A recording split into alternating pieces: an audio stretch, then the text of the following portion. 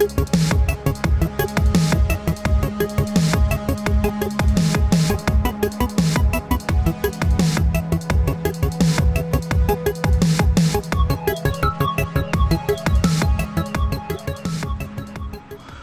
up guys? Welcome to another video. I know it's been a really long time. Good heavens, I've been just massively busy. Good grief. I mean, it's like summer ends and, and it's just crazy getting back to school and everything. Hopefully you guys caught my update video. Hope you guys are doing good.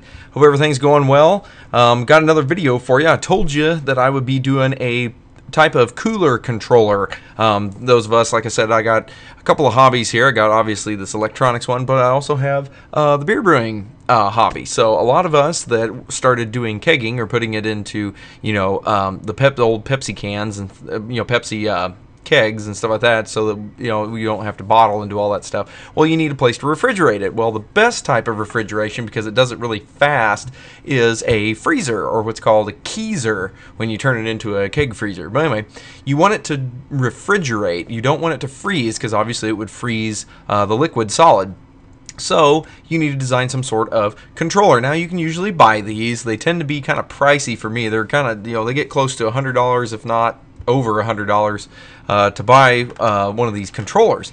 Well, obviously, since I'm an electronics guy, and those of you that watch are electronics people as well, let's just build our own. Might as well. So what I'm going to do is I'll be taking you through kind of uh, how, how I built this thing. I'm going to show you the circuit for the uh, controller itself that senses the temperature and then controls um, a relay that will control an outlet.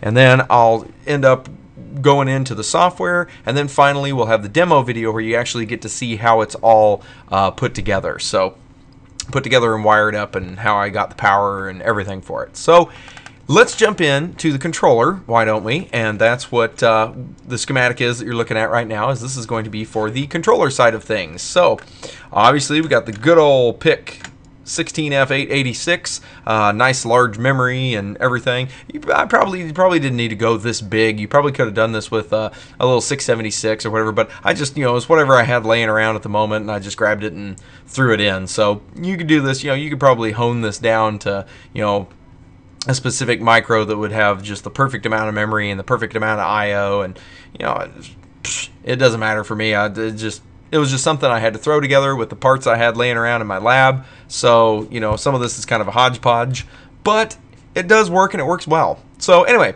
got the good old 886 going on here. What we have right here, um, there was a good, uh, good man that uh, sent me in my last video. I did a shout out to him, uh, but sent me one of the little 16 by 2 uh, dot matrix LCD displays. So that's what we're going to be hooking up today. What those are, and I believe that it is the HD that's uh, H is in Hilo, D is in Delta.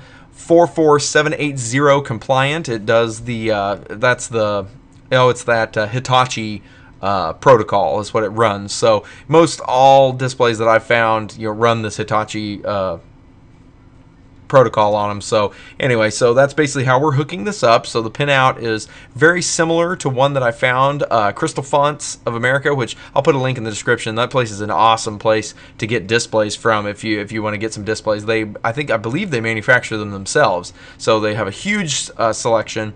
But I just grabbed a random data sheet. Let me pull it over for you. Here's just a random data sheet from one of their small uh, little LCDs. This one has uh, has it on the side. Uh, the one that I was donated is a little bit different. But basically, um, when you come down through here, let's see, do they actually give me a pinout? There we go. The pinouts are pretty much exactly the same for these HD uh, 44780 uh, protocoled displays. And those of you, let's see, here we go. See, HD 44780. So that's what protocol it's they all have pretty much the same exact pin out. So you, you know, if you watch my LCD video, I can put a link in the description to that too. I do a whole video on how to control these and everything. But basically, this is all it is. It's just a little 16 by 2, uh, nothing real complicated. Um, in fact, actually, no, I take that back. The one that I use is not 16 by 2. Sorry, it's it's even smaller. It's a little. I think it's only eight. I think it's half that size. So it's a little eight character display. Oh, I tell you, I'm. I told you it was busy. I'm losing my marbles oh, I can't even remember what I did. Well, it doesn't help that the only symbol that I had in my symbol list uh, in EagleCAD was a 16 by 2. So that, that, that threw me off. I apologize. Anyway, But I digress, right? Okay, so what we got going on over here is obviously we've got, you know, power to pin 2 and ground to pin 1 and ground to pin 5. That's the uh, read bit because we, we don't need to read anything from the display because you could have a deal where, you know, you're updating the display and then, uh, let's say, uh, you know, you put characters in the display, let's say somehow, and then you you could read them from the display. We're not really going to be doing much reading. We're just going to be writing. So we're just going to pull that one to active low uh, because we don't need to enable the the read function. Then the next one is we've got for pin three, we've got a uh, resistor divider. What this is, and you can play with this. Um, this is one that yeah, worked pretty good for me, uh, but you can you can play with this. So these resistor dividers. What this is is this is actually normally you would take like this resistor down here, or actually probably be safer take this one up here and make it a uh, potentiometer, make it a trimmer. So that way you can trim the trim pot and then you can change the contrast of the screen, make it darker or lighter. And so what you do is uh, I just put in a fixed resistor because I don't know those two resistances together gave me the voltage that I needed for the contrast that I liked. So that way I didn't have to put a pot in there and then worry about, you know, having to set it or whatever, worried about taking space up on the board. You know, I just put a resistor in. So not a big deal there. And then the rest is pretty much self-explanatory. There's the four bits going in. There's the two uh, read-write bits or whatever. Oh, we got people coming in. So we got all that hooked up. Now, over here, we've got the temperature probe is going to go into RA0, okay, and I'll show you that piece of circuitry here in a minute. But that's where the temp probe is basically going to go into, and we're just going to read that analog value and run that through the internal ADC module to uh, get, and we'll do some math on it, which we'll see in the programming section, to do uh, to, to convert that to a, to a temperature. So, and then of course we got our normal 10K pull up for our mem clear and all that fun jazz. Um, TP7, TP8, the reason I put those in there, that's for um, the program data program clock, so you can program this thing. Um, so you can hook up, you know, an external program. Now this one, what I did was since I was using just some perf board is what we call it, you know, that board with holes in it where you can solder up anything you want to. I just soldered a socket on, so that way I could use just a, uh, you know, one of those ZIF program modules, you know. Uh, so that's how I programmed it, which you'll see. I'll show you how I did that in the demo side of all this. But if you were to solder it in hardcore, make sure and leave yourself some test points or something for the uh, data and clock, so you can you can still program the thing uh, using the in-circuit serial programming. Then I've got a relay uh, pin that I brought out, and that brings us to our relay control. So what we're going to do is we're going to control a relay with this, which if you watch my relays video, you'll kind of understand the circuitry more. I go more in depth on how to do it. Got our protection diode across the coil of the, of the uh, relay, so that way we don't blow up our FET here.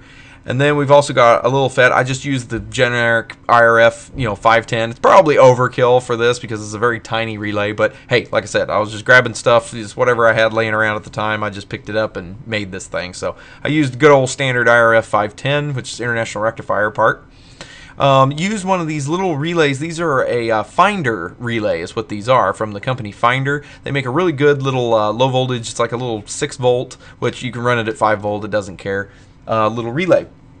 And so, anyway, wired it up to where what we're going to do is we're going to bring line voltage in this side. These are AC rated. They're like 240 volt AC. They're like 240 volt, 4 amp rated or something like that. They're they're pretty beefy for the size. They're a little small PCB relay, but you know they're pretty beefy.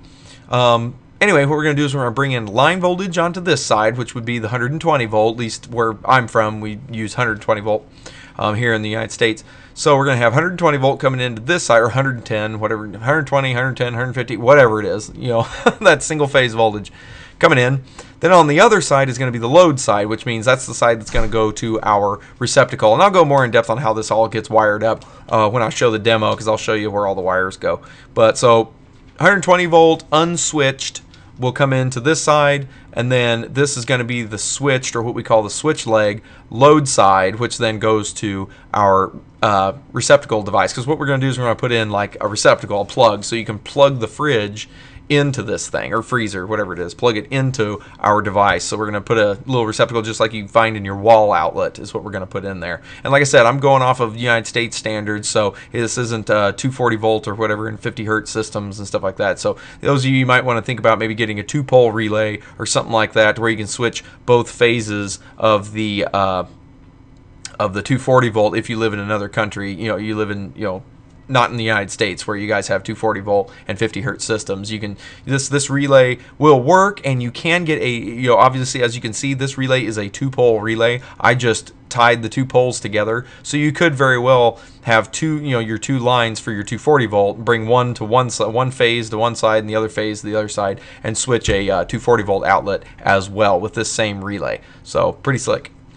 Now we'll go down to our thermal management, which, oh, wow, look at it. It's so complicated. Anyway, I'm being sarcastic, by the way, can't you tell? Um, what we're going to have is we're going to have a thermistor, which I've picked out. We'll have a thermistor that's right here. And um, in fact, actually, I think I have the data sheet on it. I can probably show you it. Uh, do, do, do, yep, it's a it's a GE NTC thermistor. That's what this little guy is. And this one, the one that I picked, uh, if I remember right, let me see, let me see, let me see, let me see. Series, I mean, blah, blah, blah. Remember, I think mine was the MA 200, well, 200, I think was what mine was. Oh, here we go. Here's the actual code. So mine was the MA, I think it was like 100 FA, I think, and then it was a 232. It's one of the two, two uh, 2.252 k ohm was what it was, and it's just a little five percent, I think or something like that. That was the one that I chose. But basically, I chose the two, you know, 2,252 ohm one. So the 2.2K is the one that I chose. But anyway, pretty good little thermistor. What's nice is it's very long. It comes on a very long cord because obviously, see the lengths. I think I got, I may have gotten the 300. That way, it was the longest, biggest one that I could find. So anyway, but it, uh, you can get them. I think mine's like a meter long or something like that. Let's go down. Where does it tell me the length? Uh, molded 30 gauge PVC insulated ribbon. Oh. Well, anyway, I'm not going to waste time reading the length. Of the, oh, here we go. Standard dimensions. There's a, oh, 24 inches. So they're two foot long. So I got the two foot long uh, version.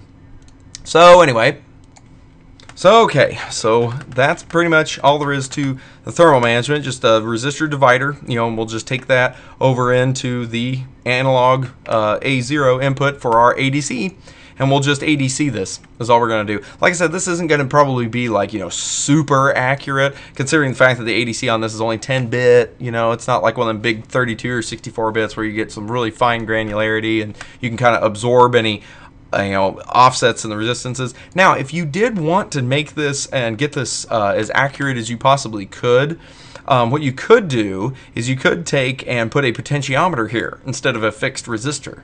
You know, put a 10K uh, pot or maybe a 20K pot in there. And then what you could do is then you center it, center the pot around 10K, and then when you you know put this all together and get your software going, and you're calculating with 10K as a value, you know, in your calculation, then you could take and you know get a standard, uh, put it I don't know, put it in a freezer where you know the temperature or something or put it in the room where you know thermometer the room where you know the room temperature or something, and then twist the pot until you get the temperature that you you know that you're at that you're at, and basically kind of zero out any error. You could do that too uh, to try to minimize error, but for now, you know, I yeah, I really don't care. And really, if you're trying to get it as close to you know, freezing as possible because that's kind of the whole point. You want your you want your your beer to be about 33 degrees. You know, you want to be right above freezing.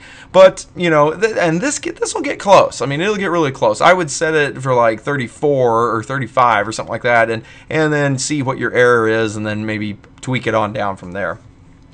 One thing that I didn't add to this that I probably should have is I would probably do the same setup here but instead of using a thermistor, use a potentiometer, or um, you could use a rotary switch maybe and hook it up to some of these pins and have basically a selector. See, the way this one is configured is since I know that I'm not going to be playing with the temperature, I'm not going to be running it up and down all the time. So I just made it where it's it's a fixed whatever in the software, which I'll show you in the coding section. In the software, you'll I actually just set that I want like 34 degrees or 35 degrees, you know, in the software, and then it just regulates to that you know so if you wanted to add some some external control of some sort you could take and um, hook up maybe another analog and do just a resistor divider thing except put one of these as an external potentiometer let's say that you can put a knob on and then based on you know that when you twist the knob, it'll you know maybe change the temperature setting. You know, you could do something like that. I mean, this is totally up for grabs. Like I said, this was just something fun that I wanted to make.